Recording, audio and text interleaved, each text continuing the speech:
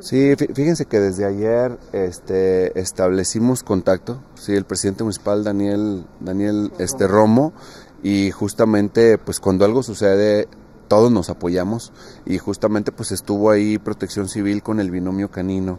O sea, desde el momento en que algo sucede, cuando hemos tenido las inundaciones, todos los municipios, todos los presidentes presentes me han hablado y qué necesitas, me han, mandado gente, han mandado sus bactors, han mandado todo su apoyo.